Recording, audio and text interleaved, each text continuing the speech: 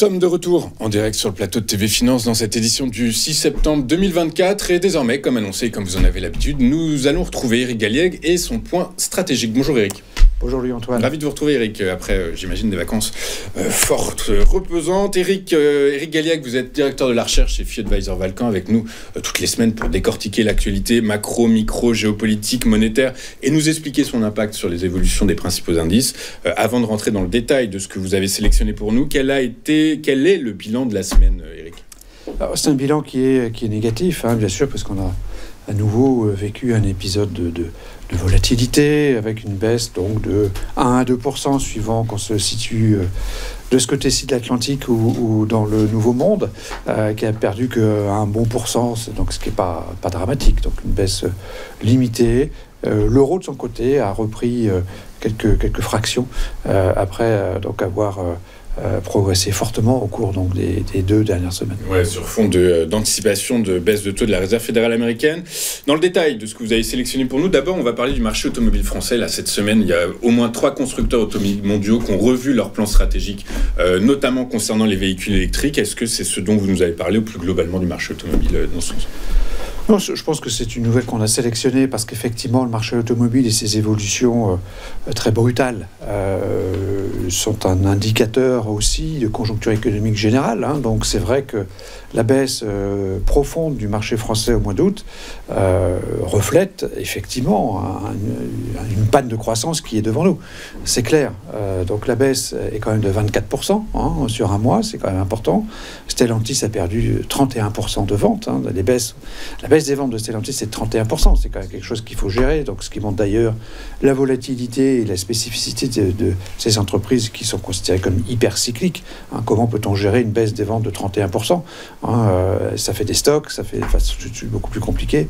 Ça, c'est des problématiques purement conjoncturelles, puis des problématiques structurelles, notamment euh, euh, le passage au tout électrique qui constitue pour les constructeurs un défi invraisemblable, puisque l'ensemble de leur appareil productif est mis à la casse et euh, doit être remplacé par un outil productif, tout neuf. Donc c'est des investissements gigantesques de plusieurs dizaines de milliards d'euros pour chaque constructeur euh, qui n'auront de retour finalement que le simple maintien en vie de, l'entreprise. Sachant que les Chinois, les marques chinoises devraient passer de quelque chose comme 8% en 2023 à 15% en 2025. Donc c'est vrai que euh, c'est un sujet compliqué pour le secteur, c'est pour ça que et pour les entreprises, c'est pour ça qu'on a on a qualifié cette euh, actualité euh, d'entreprise. Une actualité d'entreprise, ça peut être aussi une actualité économique générale parce que ça montre que effectivement, d'un point de vue économique, ça ralentit et que probablement on va, vers une panne. Oui, très clair. Géopolitique aussi également, hein, puisque la montée des constructeurs chinois, de la concurrence chinoise, eh bien, c'est aussi parce que bah, les, principaux constructeurs, les, principales, les principaux responsables politiques eh bien, se livrent actuellement une guerre commerciale qui fait que bah, euh, chacun pose des entraves à son marché. et puis la demande, hein, tout simplement, la demande en véhicule est beaucoup moins importante qu'auparavant. On bascule avec euh, la conjoncture chinoise qui reste mitigée. Toujours pas bien orienté et les investisseurs s'en inquiètent. Oui, c'est une déception euh, euh, un peu permanente, hein, la conjoncture chinoise. On le, voit sur ce graphique sur 10 ans qui donne donc l'évolution du PMI industriel chinois, où il est quand même assez souvent en dessous de 50, avec évidemment des, épisodes compliqués hein, depuis quelques temps.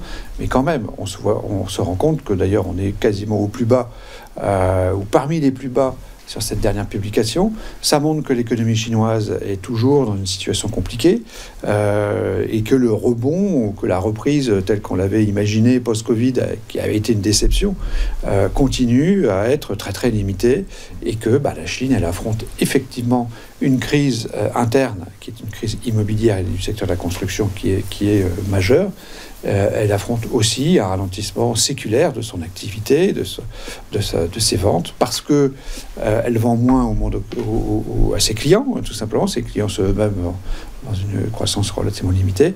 Et euh, par ailleurs, on a un phénomène d'arrivée à maturité dans l'ensemble de l'économie, de vieillissement de la population, etc. Donc la Chine n'est plus, ou beaucoup moins, le moteur économique mondial tel qu'il a été présenté depuis 10 ou 15 ans, c'est devenu une, une, économie qui rentre dans le rang euh, a toujours une croissance, hein, qui est quand même de 4-5%, hein, c'est quand même quelque chose d'important, mais euh, on n'est plus du tout euh, dans ce qu'on apprenait, dans ce qu'on on, savait de la Chine depuis, depuis longtemps. Et c'est toute la difficulté que rencontrent les autorités, les autorités chinoises actuellement, c'est que vu qu'elles n'ont plus accès au marché étranger, il faut redynamiser la demande intérieure, et pour ça, eh bien, il faut mettre des plans de relance, il faut faire plan de relance sur plan de relance, et c'est ce qui inquiète les investisseurs, c'est que pour eux, bah, la Banque centrale japonaise eh ben, n'est pas assez euh, souple pour le moment. Euh, on bascule avec une autre économie qui va peut-être mal, euh, en tout cas qui ralentit, ça c'est sûr, c'est l'économie américaine.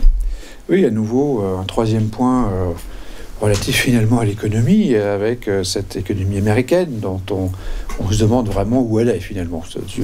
C'est un peu ça la, question, malgré tout l'appareil euh, statistique extrêmement dense euh, des États-Unis, le meilleur appareil probablement du monde, avec euh, de nombreuses mises à jour, parfois hebdomadaires. Bon, ici, sur les fameux ISM, cet indicateur qui est très à la mode en ce moment depuis quelques années, les ISM, bah, ils nous donnent des indications différentes suivant qu'il est industriel ou de service. Bon, après, voilà, on, sait qu'il y a un ralentissement. Euh, aux, États-Unis, mais de là à parler de risque récessif, c'est tout à fait abusif. Donc euh, c'est un sujet qui est repris, euh, ressassé par rapport aux hypothèses de baisse de taux, évidemment, de la Fed, entre 25 et 50 points de base. Mais c'est vrai que le véritable juge de paix sera le rapport mensuel sur l'emploi, je pense, qui sera publié aujourd'hui, qui effectivement nous donnera euh, une nouvelle, un nouvel élément d'information euh, pour voir si on a un gros écart par rapport à ce qui est attendu ou pas. En tout cas, euh, l'économie américaine pourrait effectivement vivre une phase de, ralentissement, hein, c'est quelque chose qui, est attendu, et qui est quand même très lié à la dépense publique. tous les sujets sont liés, et, ainsi qu'aux élections. Mmh. mais globalement, voilà, il faut déjà se poser la question de savoir où est l'économie américaine. Aujourd'hui, elle est dans un état qui est quand même correct, voire très correct, euh, en tout cas bien meilleur qu'en Europe, et c'est peut-être ça qu'il faut retenir. Ok, très clair. Écoutez, on, donc rendez-vous à 14h30, un rapport NFP aujourd'hui, euh, aujourd'hui vendredi 6 septembre. Euh, on finit avec bah, le pétrole, les cours du pétrole qui, bah, à cause de cette, de cette actualité macroéconomique qui n'est pas bonne, qui est morose en tout cas, et eh bien les cours chutent.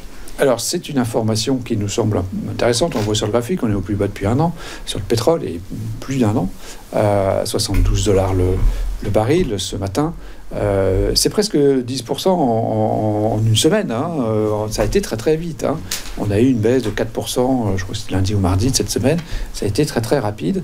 Donc la chute du prix du pétrole qui, pour nous, est positive. Hein. à ce stade, c'est quelque chose de positif. À la fois, ça reflète effectivement le ralentissement de la demande. Mais si ça se transforme en baisse de prix, on sait que le prix du pétrole est, un, comment dire une variable qui permet de redonner du pouvoir d'achat aux ménages lorsque l'économie va mal. Euh, je crois que le, son plomb est à 1,60, je crois, quelque chose comme ça, quand il était à 2 il y a 6 mois. Oui, c'est une des données, des informations les plus simples et les plus claires à, suivre et à comprendre, parce que c'est très très compréhensible. Euh, c'est un stabilisateur automatique de conjoncture, pour parler avec le langage technocratique des économistes, euh, c'est-à-dire que lorsqu'il y a une, une crise économique, lorsqu'on est en récession, les prix du pétrole baissent fortement, ce qui redonne du pouvoir d'achat et permet de limiter l'effet de cette récession. Donc aujourd'hui, effectivement, si on pouvait continuer de baisser euh, jusque des, taux euh, euh, de 65-70, il ne faut pas aller beaucoup plus bas, hein, ça permettrait d'avoir en glissement annuel une baisse de l'ordre de, 10 dollars. le baril et ça représente quelque chose de significatif. Hein. on a estimé, ou j'ai estimé historiquement, que 20 dollars le baril, c'est 1% du PIB mondial. C'est gigantesque. Donc euh, on, sait que ça, ça, ça fait euh, transiter euh, du pouvoir d'achat. qu'il y a l'OPEP derrière. L'OPEP et ses alliés de l'OPEP, plus qui, eux, bah, leur intérêt est, évidemment divergent. Et euh, ils ont annoncé hier qu'ils prorogeaient, qu'ils prolongeaient leur coupe budgétaire de deux mois. Du coup, pas à force des choses. Bon, certes, la tendance macroéconomique impacte à la baisse l'évolution du cours du pétrole, mais l'OPEP est là pour garder, faire en sorte que ça s'effondre pas et qu'on n'aille pas justement vers les 60 dollars. Pas des coupes budgétaires, c'est des coupes de production. Des coupes de production, oui. Hein, c'est des coupes, de, production. Donc l'OPEP est toujours là on sait que l'OPEP a été très très actif pour maintenir des prix à des niveaux élevés, notamment lorsqu'on était à 85-90, on était à 90 dollars mmh. encore en avril. Hein. Je me souviens que vous nous avez dit ici même que 80 dollars c'est le seuil à partir duquel on, voilà. ça commence à devenir pénalisant, notamment en termes inflationnistes. Exactement, exactement. et donc ici, lorsqu'on repasse à ces niveaux actuels, eh bien on, a, on est dans un régime normal, c'est-à-dire que la baisse du pétrole, bah, c'est plutôt positif quelque part, hein, puisque ça redonne du pouvoir d'achat à des ménages qui en perdent euh, en raison donc d'autres phénomènes euh, et surtout donc du, du, ralentissement économique et, de la baisse de pouvoir d'achat. Il ne faut, faut, pas oublier que finalement euh, la hausse des prix n'a pas été répercutée dans, dans, les salaires depuis deux ans. En Europe, aux États-Unis en, Europe. Hmm. aux États-Unis aussi, il y a eu une perte de pouvoir d'achat. C'est quand même assez, assez, assez, assez clair va pas rentrer dans le détail, il y a d'autres études qui montrent le contraire en France, en tout cas. Je sais, aux États-Unis, pareil, on se rend compte que le, salaire horaire moyen mensuel évolue quand même, euh, mais effectivement, peut-être pas autant que les niveaux d'inflation. Sur, euh, les euh, deux ans, sur toute la période de hausse des prix, il y a eu, je pense, effectivement un problème de de, pouvoir d'achat euh, des ménages et des salaires qui ont suivi avec peine, en tout cas, euh, la, courbe de l'inflation. Avec toute cette actualité, j'imagine que votre synthèse est évidemment négative, Eric. Elle est négative, elle n'est pas aussi négative qu'elle aurait pu l'être, puisqu'on a considéré que la chute du prix du pétrole est positive. On aurait pu dire que c'est négatif parce que ça reflète le ralentissement de, de, la demande, mais pour nous c'est positif parce que ça, ça permet euh, une demande, enfin une offre, pardon, une, augmentation de pouvoir d'achat des, ménages. Euh, mais en, euh, en, tout, on a une baisse donc de, on a une activité négative de moins 2, hein, puisqu'on a trois points négatifs. La baisse du marché automobile, la conjoncture chinoise, qui est quand même compliquée, l'économie américaine qui, qui, qui, inquiète beaucoup, et donc tout ceci nous fait une notation à moins 2. Et du coup, par la force des choses, le risque de marché augmente Il augmente un petit peu. Hein, c'est évidemment une lecture inverse. Le risque augmente un petit peu. Notre indicateur de momentum a baissé un petit peu. Hein, on le voit sur le graphique. C'est un sujet important pour mesurer la vitesse acquise du, marché et de quelle façon il arrive à, à, passer les chocs ou les vents contraires euh, donnés notamment par l'actualité. Euh, donc on est toujours au-delà de 30% hein, sur ce spread momentum qui, qui montre qu'on est toujours dans une tendance positive et, et, en fonction de cela, tant que le risque ne dépasse pas euh, les niveaux actuels, hein, euh, ce risque reste relativement modéré malgré tout, eh bien nous sommes toujours investis à 100% mmh. sur les actions. Oui, c'est ça, c'est-à-dire que bon, alors c'est à très court terme que vous êtes un peu prudent finalement par rapport des choses, mais que finalement la tendance reste un peu la même. Euh, pour l'instant, lorsqu'on prend en compte tous les éléments euh, de, du scénario de marché, euh, de la cartographie des risques et d'autre part de la dynamique des prix qui reste forte malgré tout, euh, eh bien, on est investi. très clair. Bah, écoutez, merci beaucoup, euh, Eric, pour ces précisions, pour votre franchise, votre honnêteté, votre travail. Vous êtes directeur de la recherche chez Advisor Valcan, avec nous tous les vendredis pour décortiquer l'actualité, nous expliquer comment elle impacte à la hausse ou à la baisse les marchés financiers. Merci beaucoup d'avoir été avec nous. Eric, on marque une dernière courte page de publicité. On se retrouve juste après pour notre point bourse. À tout de suite.